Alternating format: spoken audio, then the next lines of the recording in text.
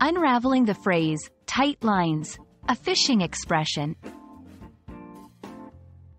Hello, everyone. Welcome to our English language learning channel. Today, we're diving into the fascinating world of idiomatic expressions. Specifically, we'll explore the phrase, tight lines. This expression is commonly used but can be quite puzzling for English learners.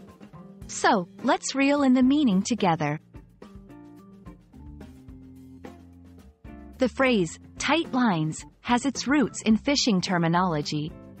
In fishing, a tight line indicates that the line is stretched tight because a fish is hooked and pulling on it. This suggests that the fisherman is actively engaged in the sport, experiencing success or excitement. In modern times, tight lines is often used as a friendly salutation or good luck wish among anglers. When someone says, tight lines, they are essentially hoping that you will have a successful fishing experience, with plenty of fish keeping your line tight. Interestingly, tight lines has transcended beyond the fishing community. It's sometimes used in a broader context to wish someone success and good fortune in their endeavors, even if it has nothing to do with fishing. It's a way of saying, I hope things go well for you. When using tight lines in conversation, it's important to understand the context. For example, in a fishing setting, heading out for a day of fishing?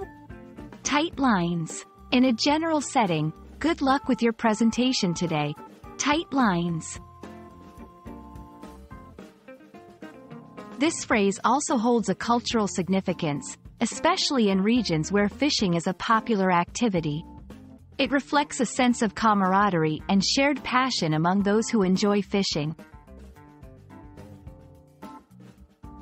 And that's the story behind the phrase, tight lines.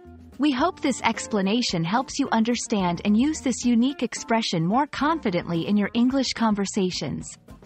Remember, language is not just about words, but the culture and context behind them. Happy learning, and as we say in the fishing world, tight lines.